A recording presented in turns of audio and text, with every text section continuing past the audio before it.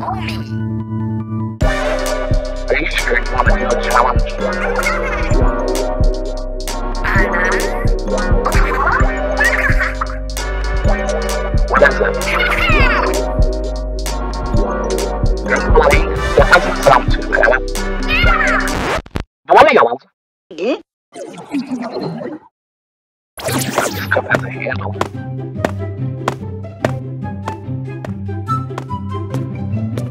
How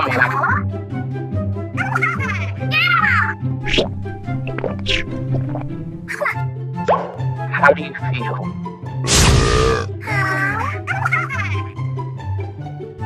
Okay, thank God you did.